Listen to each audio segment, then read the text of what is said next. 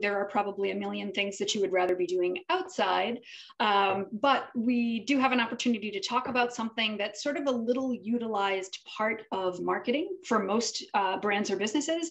And it's kind of a shame. It's this sort of missing piece that once you get the hang of it, once you've done it a few times, it really streamlines your work and makes things much easier down the line. Um, so I always love to introduce people to the concept of an editorial calendar. So we're going to talk about what that editorial calendar is, what it does for you, how you can actually create one for your business. And I'm going to go over some tools that are useful in calendar creation. Um, and just a little a brief bit about me. I have been in and around the Berkshires for many, many years, something like 25 years now. So if you have run into me at a networking meeting or something like that, um, hello, nice to see you again.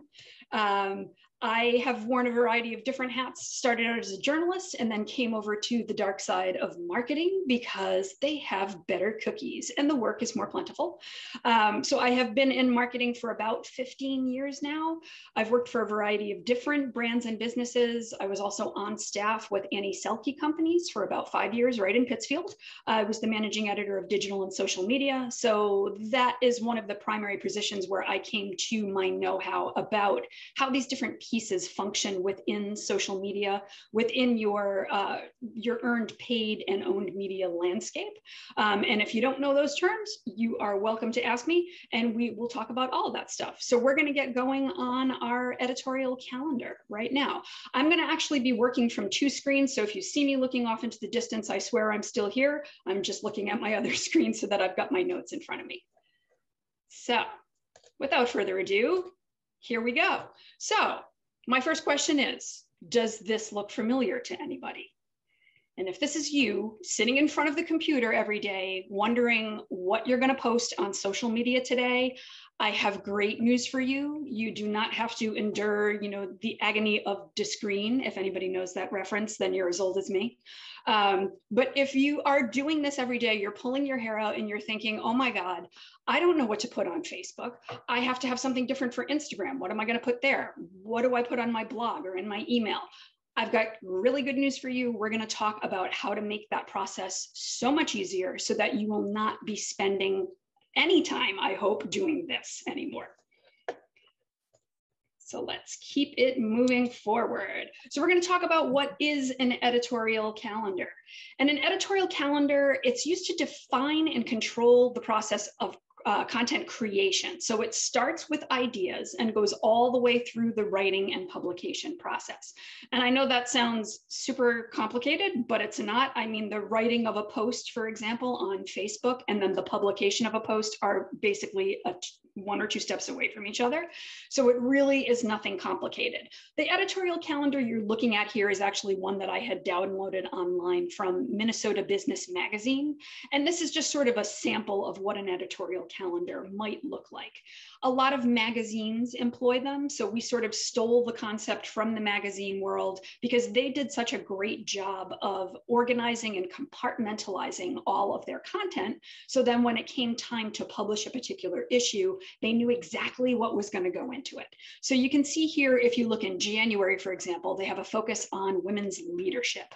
Um, it says a focus on women's leaders, trailblazers, blazers, and emerging leaders in various industries. And then they have some other content topics beneath that that they're going to publish in. Hey, Robin. And, yeah. Sorry, I don't think you're sharing your screen yet. I'm not? I can't see the editorial calendar. Oh, right. Hold on one second. I thought I was sharing. That's okay. Let's back up. Can you see this? No. Good God, what's going on? It was working a minute ago. Technology. Ah, wait. There we go. All right, awesome. Cool. So now you people are probably thinking, is she insane? What was she talking about earlier? I'll show you very quickly what I was talking about earlier. So this is the image when I was talking about the agony of Discreen. This is it. And this is what we want to prevent you from doing, which is pulling your hair out. So now moving forward, here we are with our handy editorial calendar downloaded from Minnesota Business Magazine. And you can see all of their different content topics. So as I was mentioning, you know, you could look at any of them really. I was just using January as an example. Um, but what they've got going on here is you know they they have this sort of overarching topic which is women's leadership and then within that they can have a variety of different subtopics or uh, yeah, let's call them subtopics to keep things smoother for now. So they might have something on, uh, you know, an article on women business leaders under 40, or a Q&A on mentorship for women, women in business, um, how recent legislation affects women's pay. Any of these kinds of topics can fit within that broader overarching category of women's leadership. And this is how we want to think. We want to start with these kind of broad ideas and then narrow down to smaller topics to make it easier for our audience to kind of follow along with us. And I'm not suggesting that you need to be super specific like these guys, like you don't have to have a single category that you're focusing on each month. This is just to give you an idea of how you can kind of organize your calendar according to themes and topics that actually resonate with your audience. So now moving forward, and you can still see that, right? Okay, awesome. Um, so we're going to talk about how an editorial calendar actually benefits a business. And a good editorial calendar helps you identify content that's of interest to your customers and provide it during peak engagement cycles. And what we mean by that is basically when customers or clients are most likely to purchase your products or services. So you don't have to have a physical product. You can also be a service provider, but any industry that you're in has a peak engagement cycle, and that's when people are most likely to reach out and purchase your services. It also allows you to determine where to publish your content. So you can look at different channels or platforms. And when we're talking about digital marketing specifically, that's generally website, blog, social media, and email. All of these are fair game when it comes to creating an editorial calendar. And in fact, you want to think about all of these in sort of a holistic way. And I know that is a very overused buzzword, so apologies for that but you want to think about your marketing in a way that's not just this one little thing. You're not just focusing on your Facebook marketing. You're focusing on all of your digital marketing, and Facebook fits within it, just like all of your other channels and platforms do. And it does not matter to me if you have one social media platform that you are on or you have five. Doesn't matter at all. When you're creating an editorial calendar, you can create it for all of those different buckets. Again, another overused buzzword. Marketing loves buzzwords, by the way. So you're going to hear me use a few of those today. Um, but anyway, what we're doing with this content calendar is making sure we take the guesswork out of posting. So we don't have any of those days where we're, we're sitting there racking our brains over what we're going to put out today. It will make your day to day workflow a lot easier. And it also allows you to get ahead. As we saw with that previous slide with the editorial calendar from the magazine, they actually have theirs done for an entire year. You do not need to do this. I usually recommend thinking at like three to four months at a time is kind of ideal. And the reason you want to do this is because number one, you've got those peak engagement cycles that we've just talked about. And number two, it kind of runs seasonally. So if you have a business that is at all hooked into what's going on seasonally, this is an opportunity for you to make sure that you've got content that's covering all of those different um, times of the year that are really important for your business. And as I've got here in nice bold type so you don't forget it, a small investment of time in creating this calendar is actually going to save you a ton of time later. So I know it probably sounds like a lot to think about spending half a day. And by that, I mean three or four hours. I don't mean literally half a day. Um, but if you put down three, three to four hours, just sort of brainstorming and coming up with this calendar for three to four months at a time, you know, do that once a quarter you're going to realize major benefits later on because you're going to find out that you don't have to do as much work later to kind of scramble to put those pieces together. So why else do you want to use an editorial calendar? Well, content marketing is increasingly important both in building and retaining an audience and in affecting your rank in search. And I'm sure everybody here has heard about SEO, uh, search engine optimization, super, super important in anything we're doing in the digital marketing landscape. Content marketing is a really important piece of that and you will definitely hear um, from a lot of people that you know you should be focusing on social media for example. And social media is an extremely useful tool. I will not dissuade you from using it. But what i will tell you is that content marketing which you can usually accomplish through your blog and your website and potentially even other channels. If, for instance, you post on LinkedIn, um, if you like to blog on Medium, any of those kinds of other channels, if you're utilizing any of these, you're actually doing a lot more for your search engine optimization and your content marketing as a whole by using these sorts of um, publishing platforms to get the word out the reason why social media is not necessarily as strong from a content marketing perspective is just because the feed refreshes so quickly. So what you see on one day, especially on a microblogging platform like Twitter, which is like constant refreshment of the feed, those things get bumped down the feed very, very quickly. So your post may stay up for a few hours for somebody to see, not so much on Twitter, on the other platforms for sure. Um, but after that, it's going to get bumped down in the feed and nobody's going to see it anymore unless for some reason you you know a post of yours has gone viral or a lot of people are replying to it commenting on it. That's one way to bump it up in the feed on social media. But without that happening you have this other option. You have content marketing through your blog and your website and that is super important and i definitely urge you to use these so an editorial calendar is going to help you here. It's also going to give you a very specific goal to work toward. And the reason we want that is because it makes marketing communications much more cohesive. So we are broadcasting the same message across different platforms at the same time, instead of just sort of a haphazard approach of one thing on one platform, one thing on another you want to basically give the customer a similar experience no matter where they're experiencing your brand. So we like an editorial calendar that makes everything feel a lot more professional and organized and puts out that same message just one at a time. Um, it's also easier to repurpose your content, and we're going to talk a little later about effective repurposing of content. And you can create a cross promotion plan on social media. And I would be willing to bet that some of your workshops are going to talk about cross promotion on social media, which is another one of my very favorite things in the whole world, because it gives you an opportunity to make sure that you're getting those key messages out on different platforms. So that if a customer is following you in one place, on Facebook, for example, um, you also want to see if you can attract customers to Instagram, to Twitter, to YouTube. So being able to cross promote on these channels and put out the same, uh, the similar message with not the same wording, let's put it that way. We're going to talk about that in a little bit too. Um, an editorial calendar also makes it easier for you to connect with other brands or businesses, the media, or influencers that you might want to work with. And the reason for that is you're going to have an idea of when that collaboration works for you.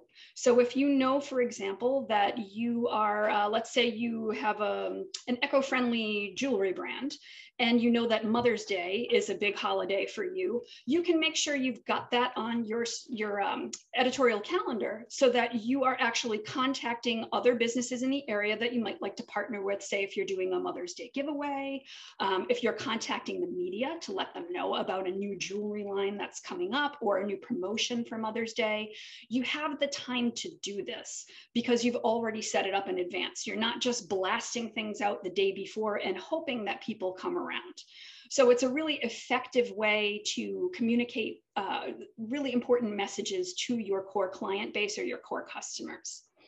And an editorial calendar can also increase revenue generation by a lot, believe it or not, because we are tapping into those peak engagement cycles. So I hope I'm giving you a, a pretty decent interview here, uh, oh, sorry, overview here. And I just wanted to go back for one second because I mentioned that term content marketing. Is everybody familiar with that? Or Michaela, do you think it's worth my giving a, a quick overview on what content marketing is? It's worth mentioning. Okay. All right. So according to the Content Marketing Institute, and yes, there actually is one of those, content marketing is the marketing and business process for creating and distributing relevant and valuable content to attract, acquire, and engage a clearly defined and understood target audience with the objective of driving profitable customer action. So basically, you want the right people at the right time with the right message, hopefully, so that they will buy something from you. So that's what we're looking at with content marketing. So now I'm going to give you uh, a few calendar tools that might be useful to you. this first one is called CoSchedule and i will tell you up front it is for folks who have extra money to burn on it so you know if you've gotten a grant or if you had a, a nice flood of cash come in over some recent promotion you did CoSchedule is very very cool. It has a ton of bells and whistles. It integrates with your wordpress website if you have wordpress. I think it might also integrate with uh, squarespace. Um, it has a variety of different calendar views and coding for different social platforms. So you can see here on this example, like if you look at Tuesday, there's that little icon for Twitter after eight or right beside 8 a.m. And that's so that you can kind of have this at a glance, knowing where all of these different content pieces are going. You can also assign tasks to teams. You can communicate with your team on the calendar itself. So very, very powerful and cool scheduling tool. It runs in the neighborhood of about $60 a month for the most basic plan. So that is cost prohibitive for a lot of people. And if that is not for you, don't worry, we've got more. So what we've got here is, this is my very favorite, and you're probably gonna laugh because you're gonna think it's really basic, but this is Google Calendar, and pretty much everybody has it. If you have a Google account, you have access to Google Calendar. And why I love Google Calendar so much is because you can do a ton of things with it. If you look at this sample calendar here, you can actually color code the crap out of it so that you know exactly what everything is. And we could assign, say, you know, this green right here could be website the yellow would be email. Maybe this burgundy color is Facebook, and then the red could be Twitter. So you can color code it so that everything is quick and at a glance, like you had with CoSchedule, but in a free platform. So it's a really, really useful uh, calendaring uh, program to use. You can do a bunch of different things with it. You can look at month, week, or day views. You don't have to stick to just one single view. This is the month view that we've got on the screen right now. If you click onto any one of these individually, it opens up this really nice big notes field. I love the notes field because you can store a ton of stuff in there. I usually will store links to articles that I want to refer back to. I occasionally will actually put an entire email in there. If somebody sent me an email that I need to remember, but I don't necessarily need to reply to, I can copy and paste the entire email right into that notes field. And I don't know about you, but I really love a clean email box. And I am constantly in pursuit of an email box that doesn't go past that first page I haven't gotten there in a while, but I'm trying. Um, so if you are also like me and you want to try to try to keep things as organized as possible, it can be really helpful to just sort of drag those emails onto the calendar for later reference. So you're not having to sort through them in your email box, which we all know when it gets out of control and you're trying to find something, it is just a hairy mess. So highly advocate for that. You can also set up reminders. I live by reminders these days. I think the pandemic just knocked that up by a few notches for me. I felt like I was forgetting things right and left unless I had a reminder set. So you set a reminder, you can get that reminder by email, you can get it uh, as a little ping to your cell phone, you can set it up however you like, and you can set up as many as you want, which is also handy. So if something super important is coming up, you can set up that reminder to go off, you know, an hour or two before you need it, and then again 10 minutes before, um, or you can just do it once if you're really good about responding to those notifications. Um, and you can share your calendar. So if you've got collaborators in your brand or business that you're going to be working with, you can share your calendar with all of your different team members. And now we're going to look at MS Outlook. This is another one that most people seem to have, especially if you work in an office environment. Outlook is really, really handy. It has a lot of those same uh, or similar functions as uh, Google Calendar. You can color code your entries. You can do month, week, or day view you can drag and drop emails on Outlook, which I love. You can actually just, you know, touch that email, press on it, long press, and then drag it over to your calendar and it will stay right on the, the day that you asked it to stay on. You can drag it into your task list too, which is pretty cool. So again, if you want to store all of your stuff in one place so that you're not constantly sorting in different places to look for it, this is a great way to do it. What we're looking at here is the tabbed view. Um, on MS Outlook. And this is useful if you have several different calendars that you want to keep separate. You don't want to overlay them. Google Calendar will do this too, but you have to toggle back and forth between them. So you'll see one calendar at a time in Google unless you decide to consolidate them um, and let it show you all of the calendars overlaid on top of each other. MS Outlook, I don't believe has the option to overlay the calendars on top of each other, but you can look at them in this tabbed view and see what's due when or when you're supposed to be putting up a particular blog post or newsletter. Um, and you can also set up reminders and task, list, task lists, just like you can in Google Calendar. And now this is Trello. I don't know if any of you folks have used Trello. Super user friendly, a really, really good tool to have. There is a free version. The free version doesn't have quite as many bells and whistles as the paid version, but it still does a lot. And the paid version is actually pretty inexpensive. It runs about $10 a month for the base plan. So if you decide you really like Trello, you've used the free version and you want to upgrade, it's not super prohibitive. Um, but anyway, you can start with free. And I always advocate starting with free because why spend money if you don't need to? So I would definitely urge you to take a look at uh, Trello. This is actually a content calendar that I had created when I was on staff at the Annie Selke companies for the blog. And as you can see here, we've got the color coding again. In this case, we color coded according to categories. So for instance, the orange that you see here was a DIY category. Um, the purple was kind of this generic we love category, and then green was tips. So on and on. You can kind of create your own um, color coding system. You can color code according to platforms or topics, doesn't matter which way. The best thing that works for your business is the best way to do it. But I like Trello because you've got the option to drag and re reorder all of these really easily. You can do that in um, Outlook and Google Calendar, not quite as seamlessly, but with Trello, if I wanted to just click on one of these and drag it somewhere else to reorder it, I could do that. It's super simple. And you can also have team members add comments and check off tasks. And we're gonna take a quick look at what that looks like. So this is, it, pretend I clicked on one of these these little cards right here. It brings up this view where you can put in a little description of what it is. You can add labels or tags. You can add team members right here. So if there's more than one person who's going to be working with you on your projects, you can add them here.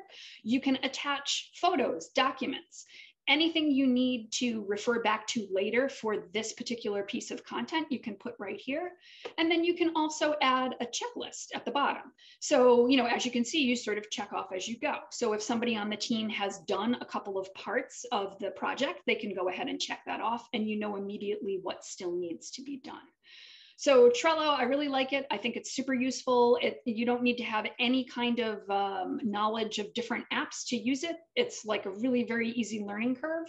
So if this is something that you think might be interesting to you for your business, I would definitely tell you to go ahead and take a look at it. Another one is called CloudCal. This one is a little bit more recent, the last four, maybe five years or so. I believe it's available for both Android and iPhone. Um, again, you can color code your entries. You can do different views, month, week, or day.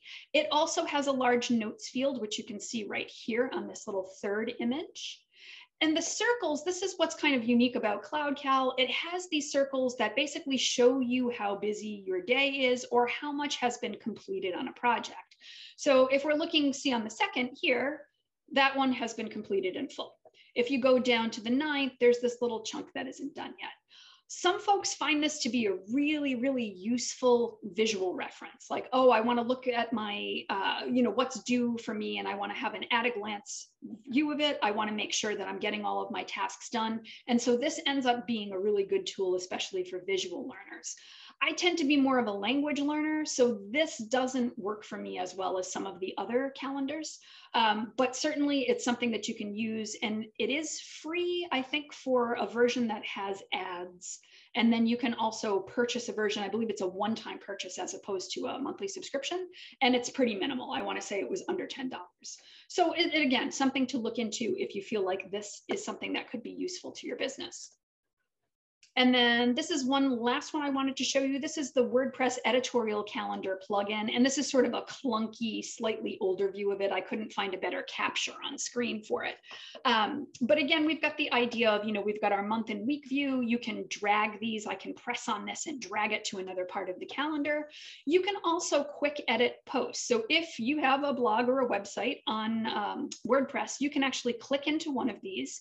You can change the title, you can change the content, you can change the publishing time, all from this calendar uh, plugin itself, which is, you know, it's very handy if you don't want to be spending a lot of your time figuring out different functions on the back end of your website. Um, you can also manage multiple posts from multiple authors, which is kind of nice. So if you've got several contributors on your team who are all putting stuff onto your calendar, you can go and review them all here. Um, it's a nice way to make sure that you're not having to, you know, dig through your email and find one email from Robin, one email from Michaela. Um, you know, you get everything right here ready to go for you. And if all of this seems like, you know what, this is too much. I am so not interested in any of these that's cool. We've also got an analog calendar and you can totally use this. I still use checklists like paper checklists for a lot of stuff. I am a big bullet journal fan. So even though I do have a Google calendar that has all of my important notifications and really sort of like the stuff that I cannot possibly forget goes on my Google Calendar because I want those reminders to ping me every now and then. But I also have sort of like a daily task list that I check off on paper if you like paper, if you're an artist, if you are somebody who really enjoys the process of, you know, being able to monitor how much you've accomplished in a day, I definitely advocate for this. There's, there's nothing wrong with it being, you know, a, a little bit old school because sometimes old school is good. So now we're going to go over uh, the mechanics of calendar creation. And I'm just going to pause really quickly for a second and see if anybody has any questions before I move forward you can either feel free to raise your hand or just turn on your mic and ask. And if not, I'll go forward. Okay, cool. All right, so we're going to keep going. So we're going to talk about how you're actually going to put together your editorial calendar. So this is sort of your broad overview. Overview. We're going to determine topics. We're going to create a color coding system for either categories or platforms. Um, we're going to talk about creating detailed notes, and that includes everything from headline ideas to article links, things you want to refer back to later. Um, things that you can put in that notes field and save for later use without having to scrounge around and find where you saved them elsewhere. Um, we'll also drag, attach, or copy pertinent emails onto the calendar for later reference. So you're not sifting through your old messages. You want to share your calendar with team members and set up reminders or create task lists to kind of keep you on track to make sure that those things are not just idle entries on a calendar, they're things that you actually accomplish. So step one of creating an editorial calendar is to brainstorm content around topics and not keywords.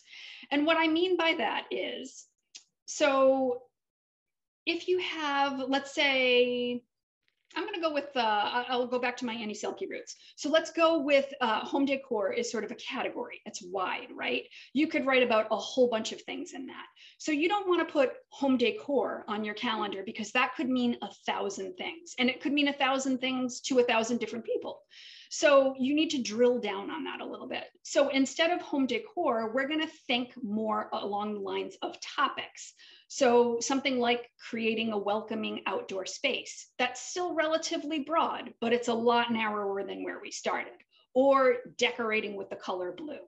Um, making cozy decor for winter. So you see where I'm going with this? It could be any variety of things. It's just a little bit narrower than that giant category that we started with because it's really hard to create engaging content around a giant category. Also, giant categories do not rank well in search. And the reason for that is the giant companies out there, the Cokes and Nikes and JC Penney's, um, they have bought up all of those keywords and made them super, super competitive. So if you were to try to rank and search for the words home decor, you would have a really, really hard time doing it because JCPenney is already doing it. So we want to make sure that we're drilling down into topics um, instead of just these broad ideas. So in this first step, you can go ahead and jot down a broad idea like home decor, but you immediately want to start coming up with other ideas underneath it. So jot down whatever comes to you. I don't care if you do this on paper or on your screen. Either way, you're going to throw out some of these ideas. You're going to end up thinking that they're not worth pursuing, and that's okay. It's always better to have too many than too few. So go ahead and write down as many as you want. So that's your first step is just to brainstorm. And if you are really super stuck, and you don't know what to do, you have no idea what kind of uh, topic you want to write about, a really nice little cheat is this website called answerthepublic.com. So you can go to answerthepublic.com and in the search bar, you can type in something rather broad. So in this case, I typed in home decor and it comes up with a whole bunch of things. It comes up with uh, home decor projects, um, how to, now some of these are worded a little grammatically strange, but you know, it's the internet. How to make home decor crafts, how wide is home decor fabric, how to choose home decor style. So it's got a bunch of nice little prompts. And it, it doesn't mean that you have to follow them if you don't like them, but this is a really, really good way if you're stuck and you don't see a way forward, you know you want to write about something, but you're not really sure what. Use a site like this and these are actually things that people are typing into search. So it gives you a good idea of what people are looking for, what kind of questions they want answered when they go online. And anytime you can answer questions that people are typing in search, that's gold for you. So I definitely say use this website whenever you need to. Uh, it's there, it's free, you can use it at any time. Step two is going to be to look at the annual calendar and make note of holidays and other important events that are, are related to your industry. So again, we're going to go back to that idea of, you know, making, uh, you're a jewelry maker. So for a jewelry maker, your important days of the year are going to be major holidays for gift giving. So that's going to be Christmas, maybe a little bit New Year's, Valentine's Day, Mother's Day. Those are sort of your key opportunities to uh, put the content out there that's important on a, a calendar basis. That's important seasonally to your, your customers. You can extend this to other types of businesses. So I've got a couple of examples here. Say you own a home cleaning business, then you want to be tapped into the idea of spring cleaning or fall cleaning or creating uh, an organized dorm room for a college student who's going back to school. So think about those dates on the calendar that are super important to your business and plug those in. So those are going to be the first things that actually go on your calendar. Um, and you're going to build your other content around that. And the reason is we want to make sure that we are hitting those peak engagement cycles. We want to be talking to people when they are interested in hearing from us. So that's why you're going to put these things on the calendar first. And also keep timing in mind. So I've got an example here, you know, if you're doing a post about how to style the Thanksgiving table for company, you don't want to run that on Thanksgiving because people need time to actually purchase the supplies or, you know, try the how to themselves. So you want to make sure you're running any of that kind of important content a good two weeks before it's actually needed. So a Thanksgiving post should go up two weeks before Thanksgiving. Step three is to try plugging in a few silly holidays. And these are really goofy, but people love them. So I say go for it. You can find a listing of them at holidayinsights.com slash more holidays.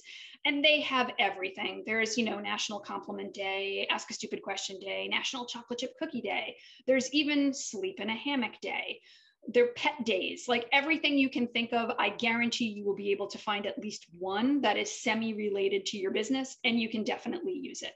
There are very few businesses where humor doesn't work you know, if you're a doctor's office or a lawyer, yeah, you maybe want to be careful about uh, deploying the humor.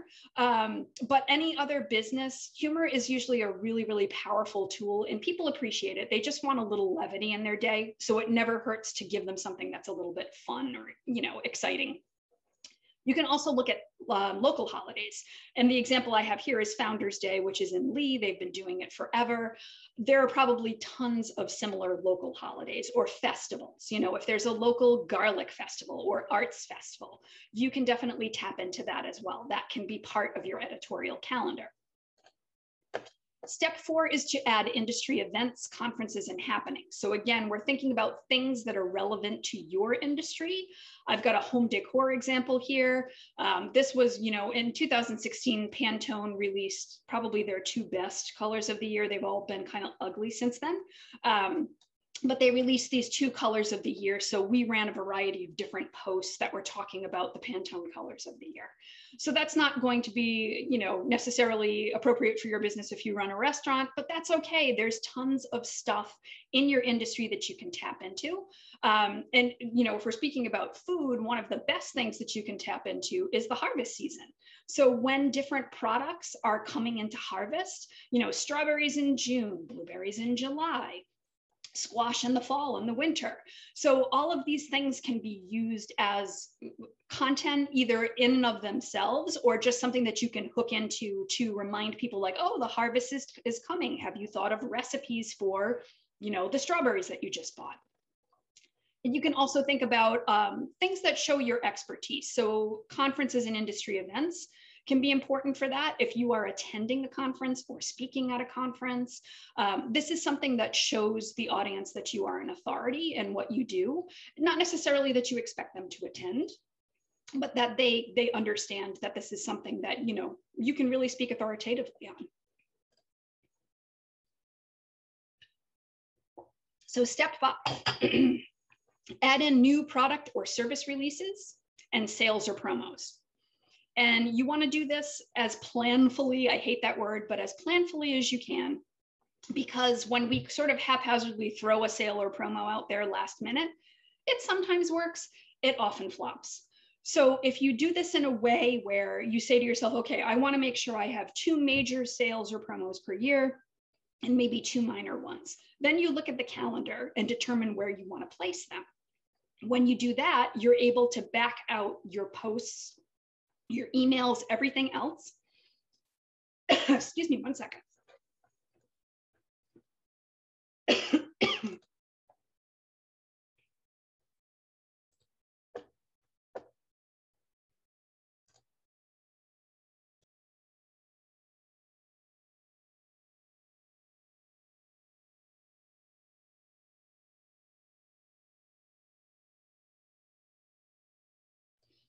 All right. Sorry about that. It's super dry in here today. All right. Pardon me. All right, let's get back to. oh, I went forward too far, didn't I?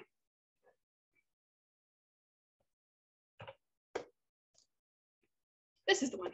Yep. Okay.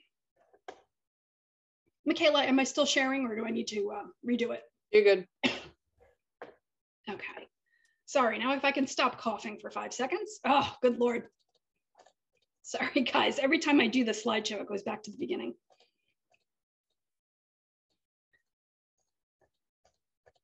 Okay, anyway. so with any sort of product or service releases or sales and promos, in addition to just the thing itself, we want to make sure there's some sort of storytelling aspect behind it because customers respond to stories. They don't respond just to things. A person isn't going to be interested in buying, for example, your makeup line just because it's a makeup line. They're going to be interested in buying it because it's good for your skin or it's made for women over 40. So there has to be something behind the actual product or service instead of just throwing out a message that says, hey, cosmetics on sale, $10. That's not enough. So instead of just cosmetics on sale, $10, it could be, hey, fall colors. Look at this new range of fall colors we have. Or have you uh, have you uh, looked at the the looks that were at I don't know the most recent um, award show and i know the oscars doesn't happen in the fall emmys emmys happens in the fall so you could say you know have you seen the makeup looks at the emmys do you want to know how to get them here, we can help you get them. And by the way, take 10% off. So make sure you're always incorporating that idea of storytelling behind any kind of messaging that you're putting out there, and you're going to have a much better result. Step six, fill in with evergreen content. And by evergreen content, I mean content that is good at any time of the year. It's not related to anything on the calendar. It's not particularly hooked into the news cycle. It's just stuff that you could run at any time and it will still be, it'll still feel fresh. So these can be tips, ideas, or inspiration that the reader can try at home. It can be behind the scenes of you working. Behind the scenes is super powerful if you run a visually oriented business. If you are an artisan, say you make leather goods, you can, you know, shoot a little iPhone video of you 10, 20 seconds working in the studio. And that's something that people love to see because that peek behind the curtain is very, very alluring. So anytime you can think about that, you know, if you're doing a photo shoot with uh, dogs on your brand new rugs, then you can do a behind the scenes of the photo shoot and show all those cute puppies romping around and people will love that as well. You can talk about the inspiration or history behind a product or an art or craft technique. You can talk about interesting ways to use your product. And one of my favorite for this, uh, there was a company that they just folded recently. Their name was Hudson Standard, and they used to make these drinking shrubs. So, you know, like the flavored vinegars that you could put into your water or tea. But they would send around these great emails about how you could use the drinking shrub in cocktails, in salad dressing, in baked goods, like a bunch of things that I never would have thought of using it for that reason. I just thought about, like, oh, yeah, it's great in my seltzer. It makes my seltzer taste like soda. Um, they had this really great forward thinking approach of yeah but you can also use it in all of these other ways that are really really beneficial. So try to think about those kinds of things. Again we're thinking about content that revolves around topics not just keywords or items. And i just want to show you here in the sidebar here you see this five ways to style a scarf. This is actually one that we did for the annie selke companies. This is a great um, look at evergreen content because it's something that we could run at any time of the year and it works. So we started it as a blog post. It was a much longer blog post that had a lot of this information in it and additional photos. We then sent it out as an email, which is what you're looking at here, which is kind of an abbreviated version. And then we broke it up into three or four different tips that we ran on social media. So that's an example of one piece of content that we repurposed several different ways. So it's you do the work once and then you break it down and you've got a whole bunch of content that you can use on different platforms. So it's just a really smart way of working without having to do a ton of extra work. And moving to the next one, we've got talking about great content you've read elsewhere this is something that just shows that you are plugged into your field, that you're knowledgeable about what's going on in the world around you, um, that you know what's going on in your industry. And you can definitely give a shout out to friends, you know, friendly businesses, other people that you want to promote. That's always a good thing to do. But you want to focus the majority of your efforts on people who or businesses who are a little bit higher profile than you are. They don't have to have a following of 5 million people, um, but certainly somebody who has a larger audience than you might be able to take you along for the ride. So, you know, if you can make sure that you're giving them a shout out, if you're linking to something interesting they did, if there's something on uh, somebody's blog that you want to call out, you can post about that on your own social media, in your email, uh, on your website if you want to just so that you're showing that you are, you have a focus that's a little bit wider than just yourself because nobody really appreciates somebody who's completely self turned inward. Um, we want to make sure that you're looking out to the outside. And that goes for stuff that's going on in the news cycle. Uh, a really good example of this i have a friend who runs a business um, that makes products or like self-help products for women that have experienced miscarriages and when Chrissy Teigen, who is, I think, the person with the most Twitter followers ever, or something crazy like that, when she posted last year about a miscarriage that she had suffered, there was a great outpouring of support for women who had experienced something similar. My friend was able to say, absolutely, you know, and we are here for, for women who are going through this. You know, let us know if we can help you in some way. It was not a hard sell. It wasn't buy our products um, it was more like, we're here for you. And that showed that she was paying attention to what was going on out there in the world. And she was able to tap into that and generate some sales from people who had actually experienced something similar. And down here, I've got the definition of influencer. If you are familiar with the term, you don't quite know what it means. If you've never heard it before, either way, I've got a little definition of it. Um, it's basically just somebody who has a really large following, generally on social media, Um, and they are able to sort of drive purchasing decisions by virtue of being a tastemaker influencers have actually been around for a very, very long time. Um, we are really only hearing this word now related to social media, but influencers go way back when. Like, you know, Ben Franklin was probably the world's first content marketer and influencer. He had a tremendous amount of pull with people. They trusted what he said.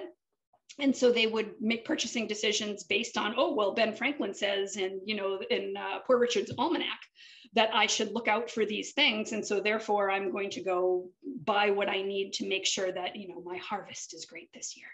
So influencers have been around for a long time. You don't have to hire them necessarily, but it's not a bad idea to network with them and see if they can potentially give you a side benefit of raising your profile.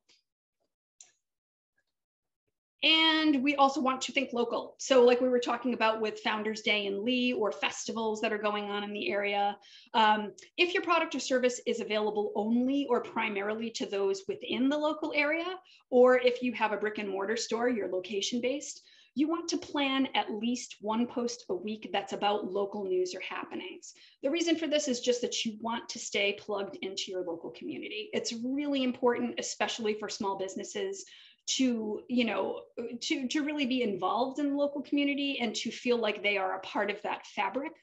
Um, so make sure that you are looking out for what's going on. You can you know subscribe to the berkshire eagle or the berkshire edge or greylock glass. Any of those guys have uh, great newsletters and you can find out what's going on around you and then talk about that when it's appropriate for your business if your business is national or international, you still want to plan a couple of local interest posts per month.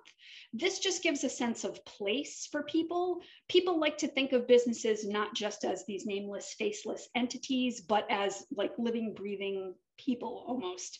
Um, and you know whether or not politically you like that idea i think it's important to let people feel like there's a person behind the business instead of just this you know nameless faceless facade so those local posts give people a good idea of that.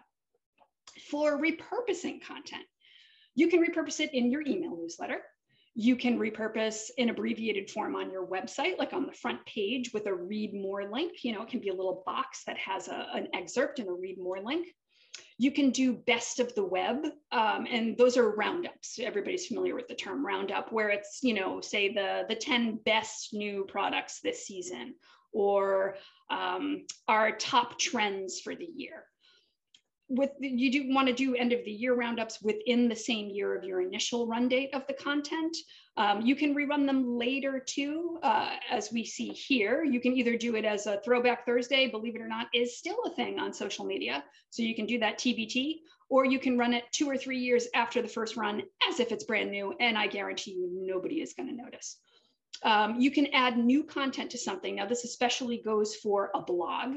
You can add new content to a post that you've previously published and then add a line at the beginning that says something like, by popular demand, people asked for an update on this post. And so we're adding some additional details. You can also update the date on that post and bump it to the top of your blog so it looks like a brand new piece of content. Again, people are probably not going to remember that you ran this before. And the reason why this is a good thing to do is because search engines love new, they love novelty, they like updates. So if you update something on your blog, the search engine will automatically go and reindex that page. And you can also guest post on another blog on a related topic and, and include a link back to your blog you know that uh, black your blog post so for example you do a how to on indigo dyeing so you have the how to on your blog, you guest post on somebody else's blog about the history of indigo dye, and then you can link back to your own post. And this isn't limited to blogs. You can also do this on your social media. You can do it on uh, different platforms. You know, you can do it on Medium. You can link back to a post that you've created on your own site and when to repurpose content. So you want to choose one social media platform to promote on the day you run the material. So assuming that the material, let's just say that it comes from your blog originally, because that's usually the easiest place to create a large quantity of content and then break it down for other purposes. So say you've posted on your blog. So that day you choose one social media platform to promote the blog post on. And then for the next seven to 10 days, you're going to rotate that information on different social media accounts. And these are just some examples here. You do not have to be on these social media channels. And if you are only on one social media channel and you do it really, really well, I am 100% on board with that. You don't need 10. You just need as many as you can do well. But this is just an example of how you can rotate through the different social media channels over a period of time so that people are seeing that content. And you'll notice that Twitter is here a lot. The reason for that is just that the name of the game is repetition on Twitter. And you can tweet about the same content, vary the copy a little bit just so that it's not exactly the same. You can do that up to 15 times over a 10 day period. And probably not much of your audience is going to see that same post twice just because the feed refreshes so quickly. After that initial week to 10 day promo period, you want to post again about once a month for three to four months. This is especially true of blog posts.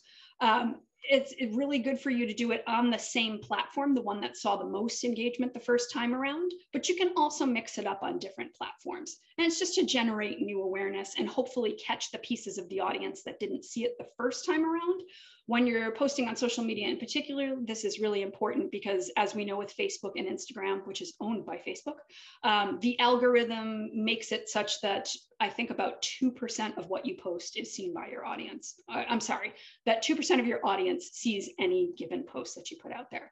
So reach is really, really poor on social media. And the way to kind of get around this is to post about something a few times. You just vary the content a little bit. You can switch out the image and you're good to go.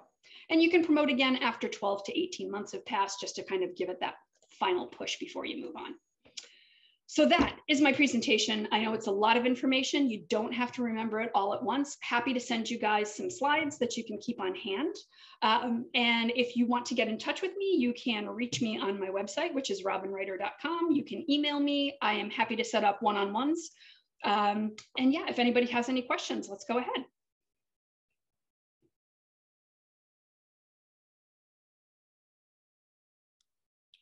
Robin, I know you talked a lot about uh, different examples of um, content planning and, and repurposing. Um, can you maybe do an example of like uh, we have someone from Cutting Edge Fitness here? Can you maybe do an example, a quick, make a quick mock-up of like what sort of content they can post, um, or maybe some example holidays, just something quick um, that would be useful for them. Okay, yeah, so I would say for a fitness center, and this is like a general fitness center, not Pilates or yoga or something like that.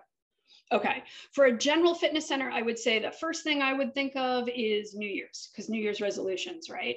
Everybody eats too much over the holidays, and then New Year's resolutions, they're going to want to lose weight, get get in shape, whatever. Uh, bikini season, again, not an official holiday, but that's the kind of thing people know summer's coming. They want to look good in their swimsuit on the beach.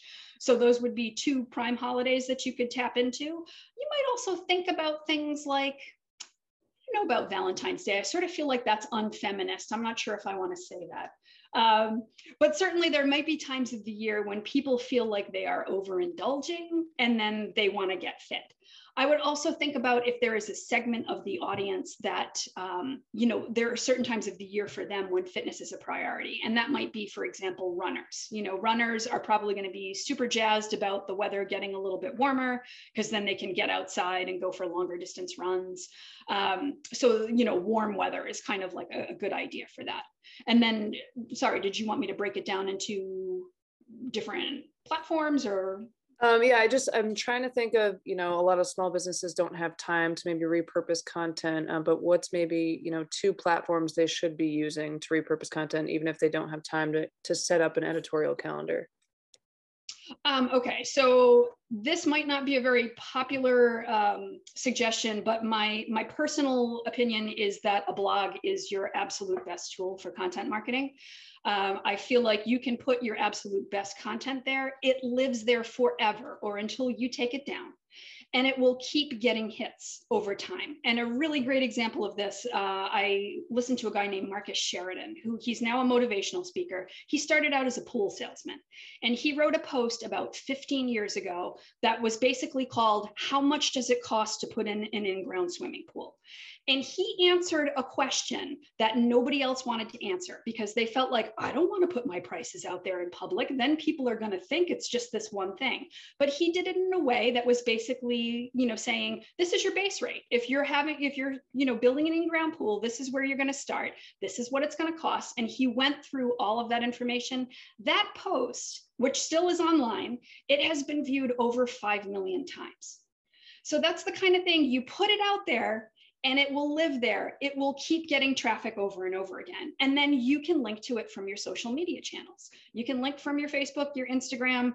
Um, it's a little harder with Instagram, I understand, but there are tools for that too. And if you want tools for linking from Instagram to your website or anywhere else, let me know. I can help you um, you can talk about you could make a youtube video and then refer back to the post. So there's a lot of opportunity to make those cross promotion uh, cross promotions work. And you can also break down the post. So remember that scarf post that i showed you guys you know that we did it as an email we did it as a blog post and then we broke it down into its component parts over social media it's a really nice way to make sure you're kind of, you know, you're front loading the work, you're doing the work once, you're creating this longer piece of content, and then you're chunking it down so that you've got something to use over a period of a couple of weeks. You're not blowing all of your content just in one shot. Did that answer your question? Yes. Yep. That was awesome. very helpful. Does anyone have any examples or anything they want to talk to Robin about, maybe uh, experience wise when uh, planning content or anything like that. I know this was helpful helpful for me because I have a variety of clients, so um, it's kind of hard to source uh, captions and and photos and you know maybe if you're representing someone who uh, makes gravestones, you can't necessarily use the national holidays as a well, you could. Point. You'd have to have a really weird sense of humor for that, but. You never know. El Dia de los Muertos would be. Uh, there you go.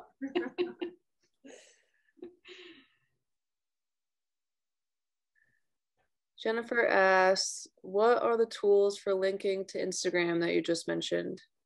Oh, so one that I like, which is free. And again, I am all about the free. If you want free tools, come to me. I am your free tool repository. The one I like is called Linktree. So just type in Linktree into Google and you will find the site. It basically is a little app that inter, uh, integrates with your Instagram account and it will create a link. So if you if, if you want an example of this, you can go to my Instagram, which is once more to the shore. Um, and no, I am not an influencer, so don't laugh at me. But go to Once More to the Shore on Instagram, and you'll see under my bio, there's a little thing that says Linktree. And if you click on that, it will open another page that has a whole bunch of different links that you can click on. So for me, you know, this is my hat as a, a travel writer. Um, I have all of these different places where you can find my work. So you can do this for your link tree. You can link to product pages. You can link to services. Um, you can link to your work on other platforms. You know, if you are a guest contributor for a particular blog or publication. Um, I really, really like Linktree. There is an upgraded version with extra bells and whistles where you can customize the look of it more and do more things with it. You have to pay for it. I always like to start with the free thing and see how it works for me before I invest in it. And there are other tools as well. There are some that are more shopping oriented. And if you're interested in those, you can email me and I can, I'll dig out the list for you. I don't have it in front of me right now, but there are some that are better for more like um, if you sell products. But yeah, Linktree is a great tool. I like link Tree a lot because you don't have you can just say link in bio and it's all right there. exactly. Yeah, I mean, we used to have to change that link in bio every single time we wanted people to click on it, and so the post would always end with, "Oh, you know, if you like this, click link in bio to go buy it." And it was it's so clunky to have to do that every day.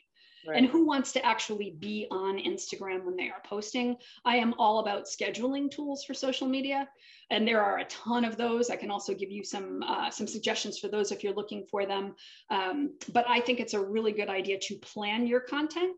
Uh, have you know sort of those topics already planned that you're going to be posting about and then you can spontaneously post on occasion when something interesting happens locally in the news cycle um, you know in the greater world that you want to tap into. But this way you do not have to sit with your instagram with your phone in front of you while you're at dinner with your family because oh my god i forgot to put something on instagram today. It's already going out while you sleep do you have maybe two or three scheduling tools you can mention off the top of your head? My favorite is Buffer. And again, they do have a free version, uh, more bells and whistles if you pay for it. And I think the paid version is 100 or maybe $120 a year. Um, Hootsuite, I used to really, really like Hootsuite. I feel like it's maybe gotten a little too complicated for its own good. So if, if you're a social media manager or you are very, very into social media, I think Hootsuite is a great tool. For people who are kind of more casual social media users, I think Buffer is, is going to be your best bet.